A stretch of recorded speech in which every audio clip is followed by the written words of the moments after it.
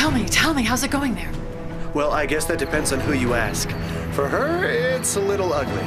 The judge, he's chilling, and things are going great for us. That's just perfect.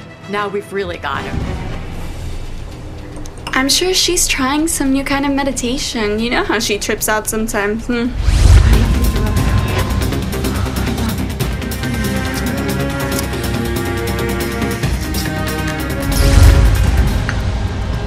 What was Gerardo doing, standing by the pool, just when you decided to to bathe in the nude? I don't know.